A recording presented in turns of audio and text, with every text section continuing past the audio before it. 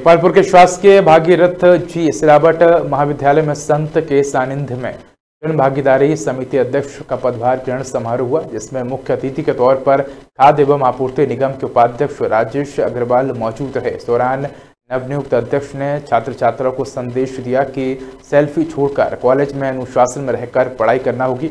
माता पिता ने अच्छी शिक्षा ग्रहण करने के लिए आपको कॉलेज भेजा है, इसलिए पढ़ाई करो व माता पिता के हौसलों को पंख दो।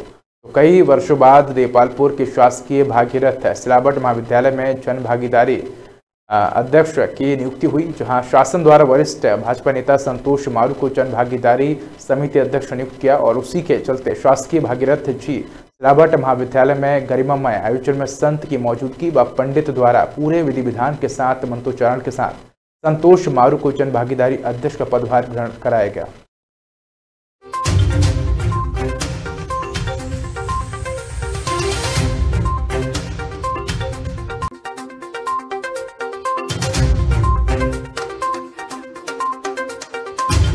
शासकीय महाविद्यालय के पदभार ग्रहण समारोह में मुझे आने का अवसर मिला। यहाँ जन भागीदारी अध्यक्ष के तौर पर हमारे भाई संतोष जी मारू को ये दायित्व दिया कि वो इस महाविद्यालय की तरक्की में, इस महाविद्यालय के लिए काम करने के लिए सरकार ने आपको यहाँ पे अध्यक्ष बनाया है। निश्चित तौर पे मारू जी के नेतृत्व में महाविद्यालय का चौमुखी विकास होगा।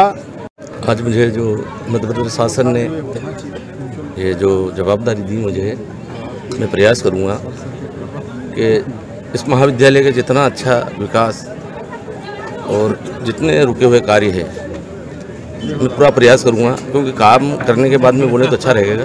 मैं प्रयास करूँगा आपके सब सहयोग से इस महाविद्यालय का पुनः विकास पुनः निर्माण बाकी जो बच्चे कार्य वो पूरे करना है। सही भागीरथ लौट के लिए है ना? करेंगे ना? पूरा प्रयास करेंगे और भाई, फौजी भी आपके सहयोग से।